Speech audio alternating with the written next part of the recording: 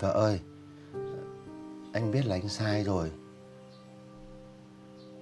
Vợ cho anh xin lỗi. Vợ tha cho anh nốt lần này nhá. Với lại là anh cũng chỉ mượn mấy hôm thôi Xong anh bù lại luôn mà. Đây là lần thứ mấy anh nói câu này rồi hả Tiến?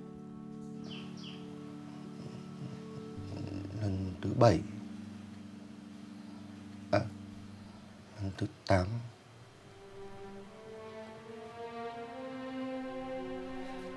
Bảy năm làm vợ anh.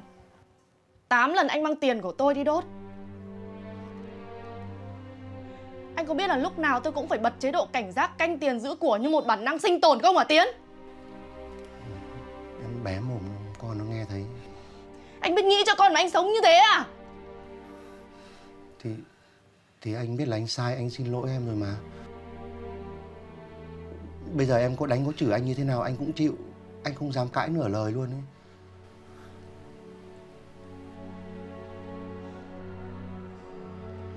Đời tôi mất hết. Tôi mất vì anh đi Tiến ạ. Anh chỉ biết xin lỗi thôi. Xin lỗi có trả lại tiền được cho tôi không? Anh biết giữ thể diện cho anh, Mà anh không biết giữ tiền giữ của cho vợ con anh à? Hết trà sữa Hưng Tiến Thắng, Rồi đến hợp tác xã vận tải Hưng Tiến Thắng, Lòng lợn Hưng Tiến Thắng. Rồi chưa kể là những cái lần lẻ tẻ khác, Cả cái số vàng này của tôi nữa. Bây giờ anh xem. Anh xem cái nhà này còn cái gì, anh mang cái nốt đi.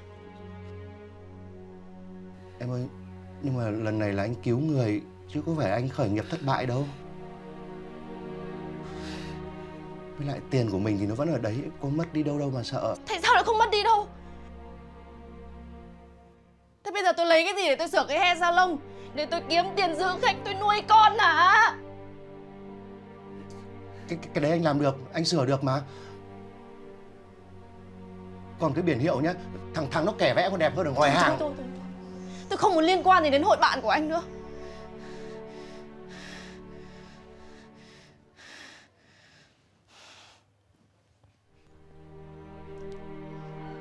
Lần này tôi không nhịn nữa đâu. Giờ chọn đi. Tôi hay hội bạn của anh? Tất- nhiên là anh chọn em rồi mà. Thế thì viết giấy từ bạn đi. Hả? Giấy từ bạn hay đơn ly hôn? Giờ tôi không có tâm trí đâu mà cãi nhau với anh nữa. Thế cái số vàng đấy thôi coi như là phí chia tay Hoặc là chia tay tôi Hoặc là hội bạn của anh.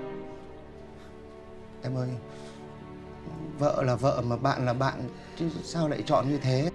Thế sao anh lại mang tiền của vợ đi cho bạn đi được